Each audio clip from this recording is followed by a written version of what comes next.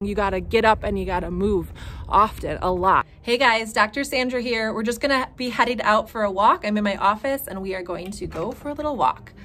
So we're gonna talk about the benefits of walking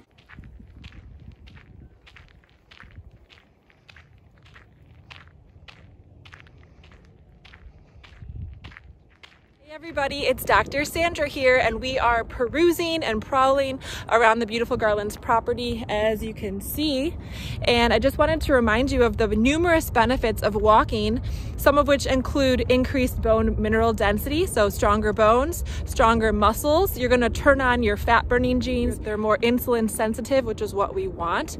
Um, really great for diabetics and we're gonna come up on some beautiful daffodils in a minute so I can't wait to show you because spring is in the air. So make sure you get out and see it today. Just lovely. So walking does more for you than just burning calories and lifting your spirits. Walking signals to your body that we are happening. We need new bone cells we need new cells we need to be healthy and strong and vital. If you are sitting and sedentary then you are going to not have as good of a cell cycle turnover. Um, your muscles aren't going to be as strong. Your bones aren't going to be as strong. You got to get up and you got to move often, a lot, take a lot of steps.